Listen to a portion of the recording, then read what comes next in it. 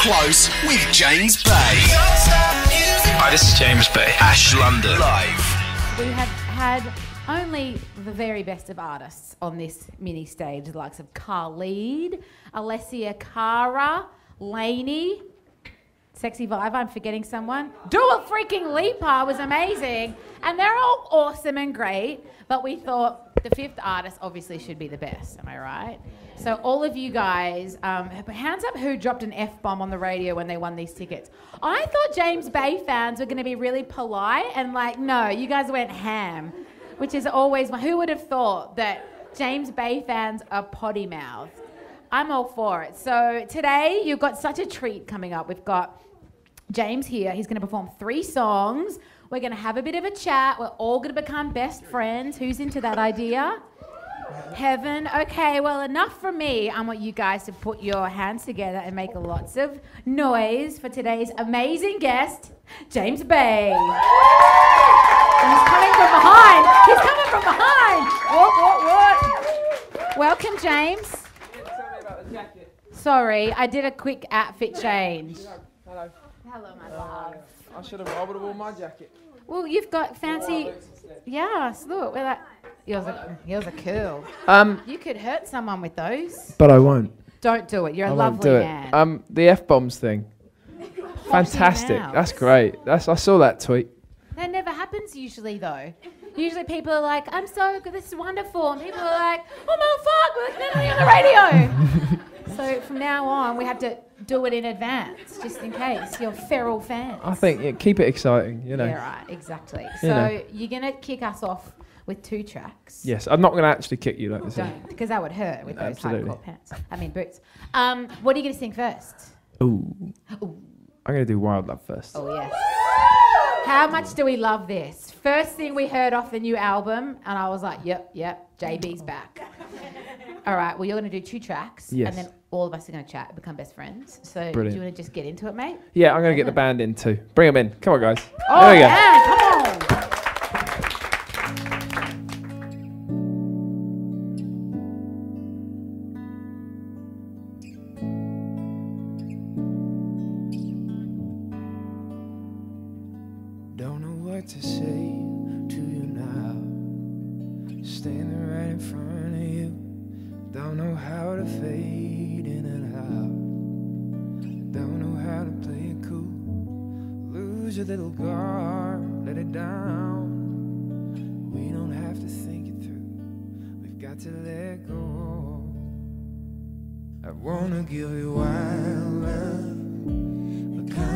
Kind that down. I wanna take you higher. Let our hearts be the only sound. I wanna go where the lights burn low and you're only mine. Wanna give you wild love. Tried to call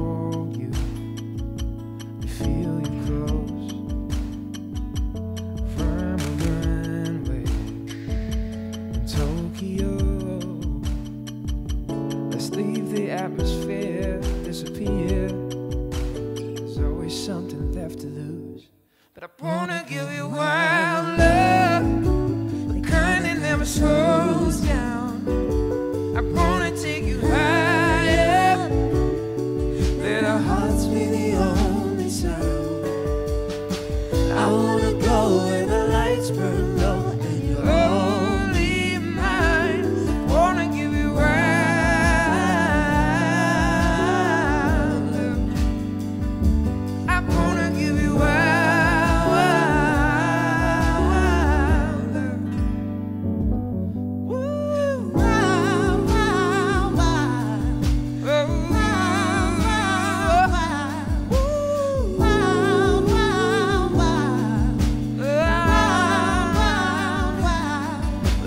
reckless, unaffected, running out until we're breathless. Let's be hopeful, don't be broken. Let's take heart out in the moment. I wanna give you wild love, kind that never slows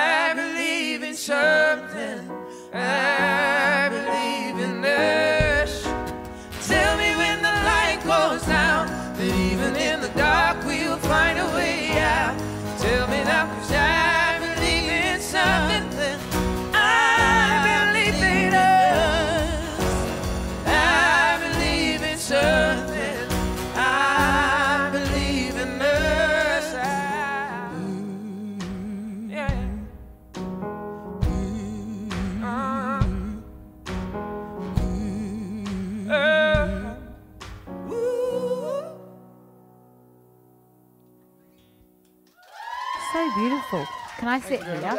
Can I, do you want me to put this Yeah, dunkle? ahead.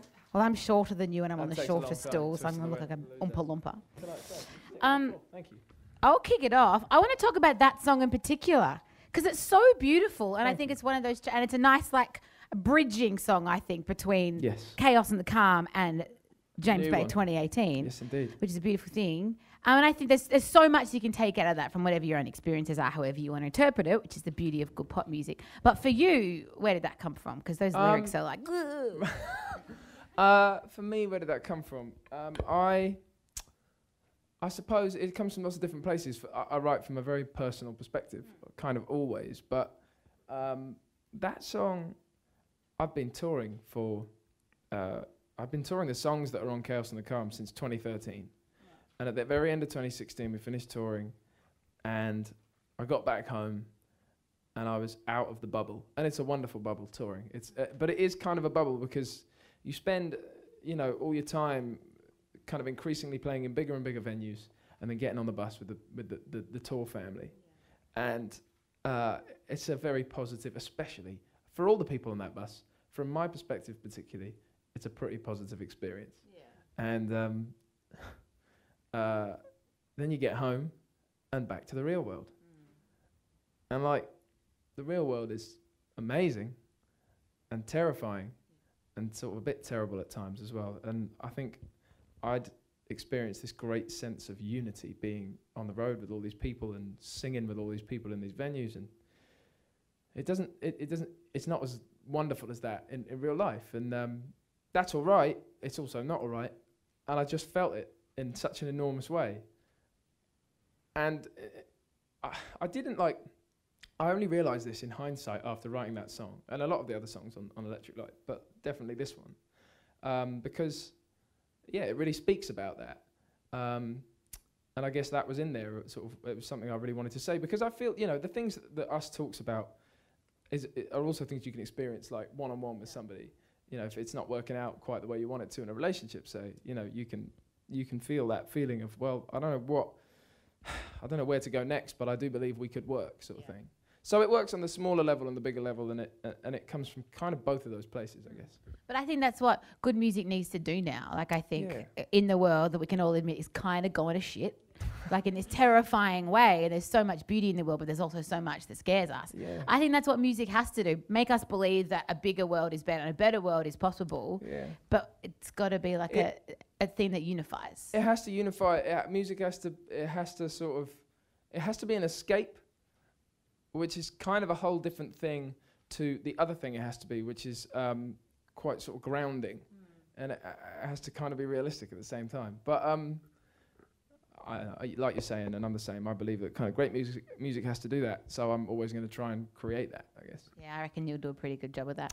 And you're back on tour now, so you're back in the bubble. And you did tweet recently that it is your favourite place to be. So obviously you prefer the bubble I do like the bubble with the screaming fans and the good. tour buses. it's pretty good it ain't bad. it's not All right, we've got some uh, fan questions from our beautiful listeners. Avery's kicking us off. Don't drop any f bombs, guys. I'll, I'll we try. know that's what you like to do. Hi, I was just wondering if there's a song that you love so much that it absolutely kills you that you didn't write it. Wha- okay, one that isn't mine that kills me that I didn't write. There's a few of those. Um, it's a long list. Yeah, I don't know. You, uh, there's a song by Joni Mitchell called "Case of You" that absolutely blows my mind every time I hear it. Then James Blake did a great cover of it, which also blows my mind because his voice is ridiculous. Um, Do people get you and James Blake confused?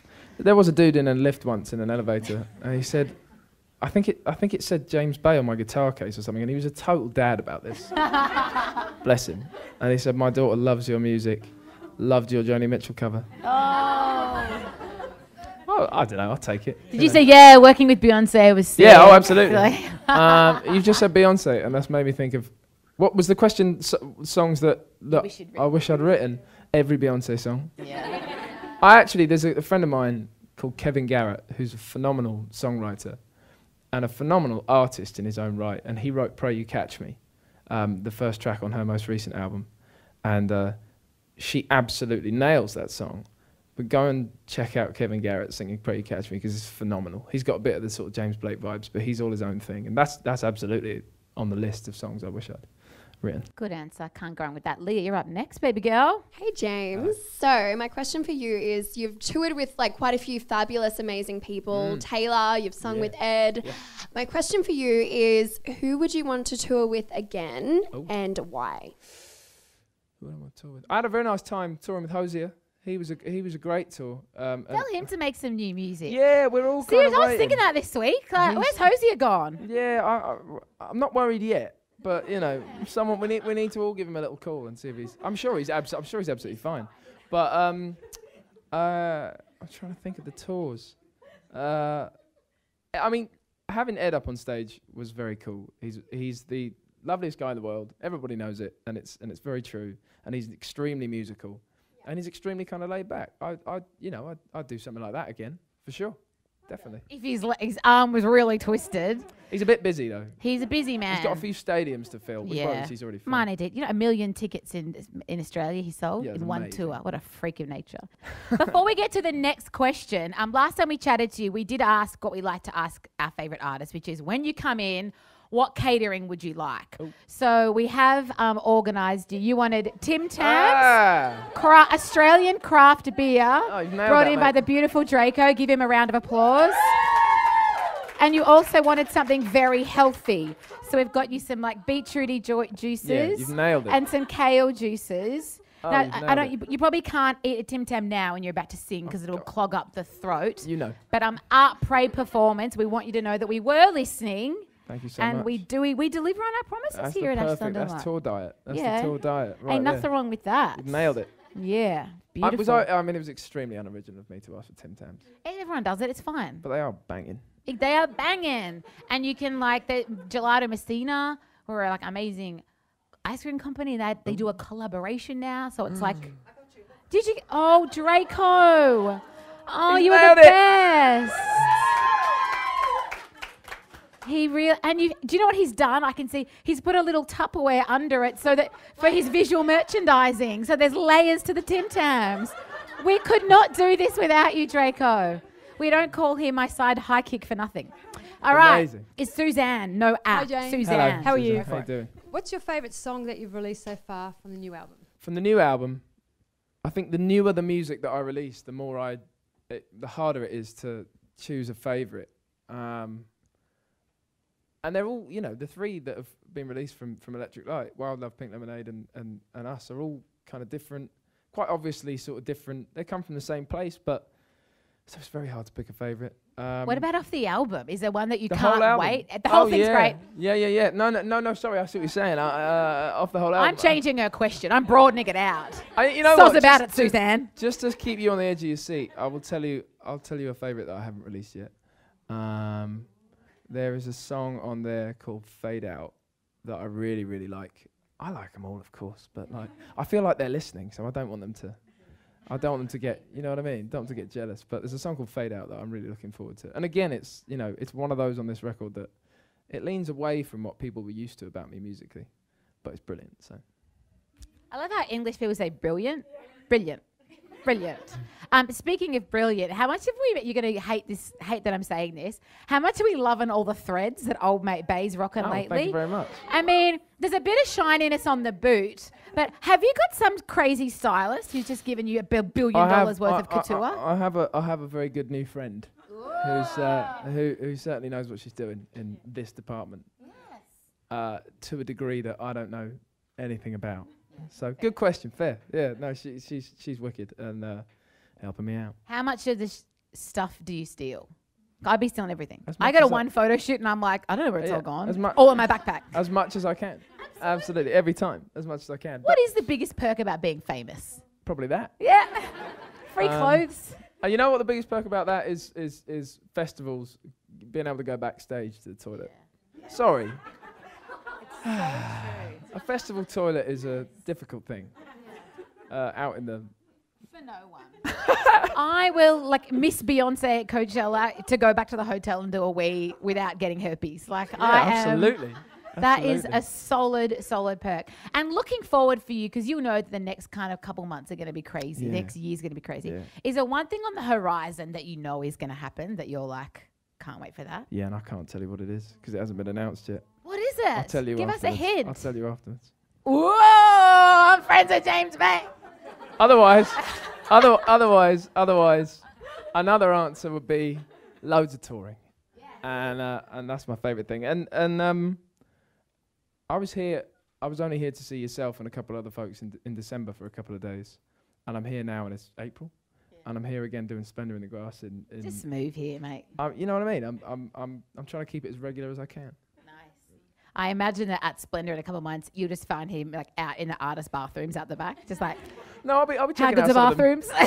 I'll be checking out some of the music. No, I'll be checking. you and Kendrick Lamar are just going to be like best friends, right? I'm very excited to see him play. I must say, and and because I've seen, yeah, obviously he's been touring like mad lately, and, and you see that production, and it just looks amazing. And I think Lorde's playing it, uh, Splendour as well, which I'm really excited. And about. Khalid, who was Oh, on this very stage a couple of months ago, He's amazing. he's a freak of nature. I'm a big fan. yeah.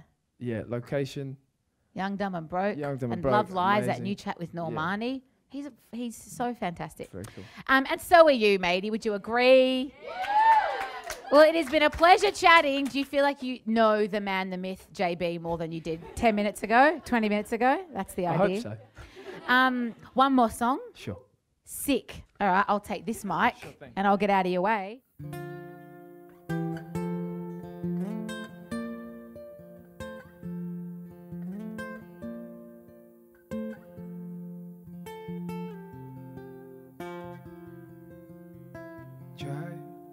to keep.